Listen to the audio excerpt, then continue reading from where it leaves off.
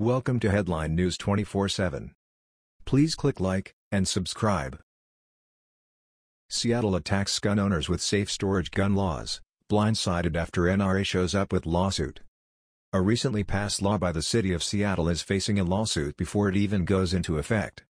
The National Rifle Association, the Seattle Area Second Amendment Foundation and two Seattle residents are suing over the city's new gun safety law, which was signed into law last week and becomes effective January 1. The lawsuit was filed Friday in King County Superior Court. The suit alleges the new safe storage requirement violates state law which prevents cities from regulating guns. Seattle Mayor Jenny Durkan, who signed the law into effect, and the city's police chief, Carmen Best, are also named as defendants in the lawsuit. Under the new law, Gun owners can be fined up to $500 for failure to store a firearm in a locked container or to render it unusable by anyone other than the owner. That fine would increase to $1,000 if a minor or anyone else prohibited from using the gun gets their hands on an unsecured weapon. A fine of up to $10,000 would be assessed if a minor or prohibited person uses an unsecured firearm to cause injury, death or commit a crime. In addition, a gun owner who does not promptly report a lost, Stolen or improperly used gun could face fines of between $500 and $1,000. The legislation will apply only to guns that are stored. Guns being carried legally under the control of their owners are not affected.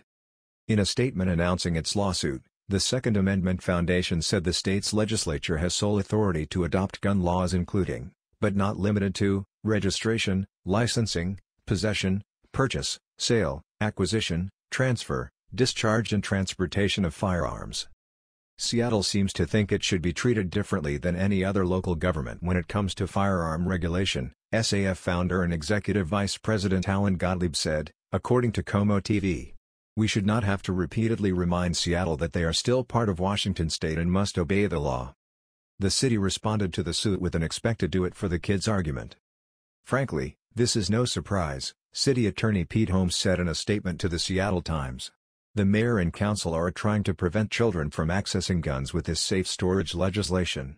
If the NRA and SAF want to be on record fighting responsible gun ownership, that's their choice. Dave Workman of the SAF said the law not only doesn't improve safety, it also is almost impossible to enforce. How do they expect to enforce something like that? Workman told KCPQ-TV.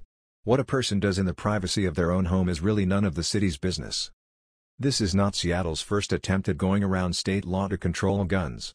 In 2010, the city banned firearms from Seattle parks.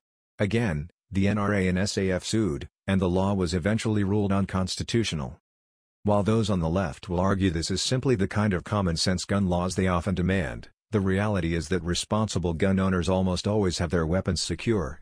And the two citizens who are part of this suit claim the law would prevent them from having guns by their side if they believe they were needed for self-defense. Workman says he doesn't believe this new law will be on the books for long, and said the mayor has a larger goal in mind with this ordinance. The purpose isn't safe firearms, they are trying to erode the state's preemptive statute, Workman said. That was the news. We thought you might be interested in knowing about this. Please click like and subscribe. Thank you.